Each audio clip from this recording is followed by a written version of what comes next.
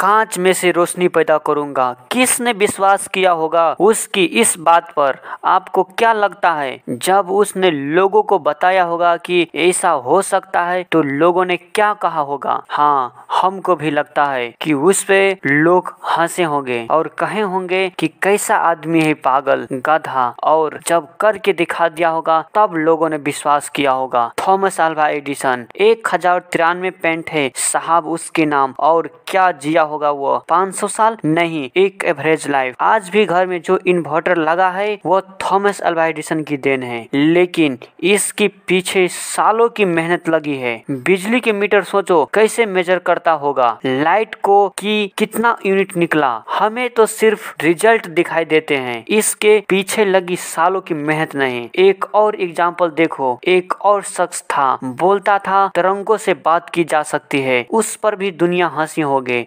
दोस्तों, लेकिन उनको भरोसा था खुद पर और कर दिखाया। ग्राम बेल टेलीफोन का आविष्कार किया था। दोस्तों, इन बातों का मकसद सिर्फ़ इतना है कि पागलों ने ही दुनिया को बदला है। समझदार लोग तो आज भी बैठकर खामियाँ ही ढूंढते होंगे। अगर आप भी ऐसा कोई काम कर रहे हो, जिसमें आपको कठिनाइयों का सामना करना पड़ रहा है तो ये समझ लो कि दुनिया बदलने वाला काम कर रहे हो। अब तो आपको मेरी इस बात पर विश्वास हो गया होगा कि दुनिया पागलों ने ही बदली है। जिस जिस पर जग हंसा है, उसी ने इतिहास रचा है।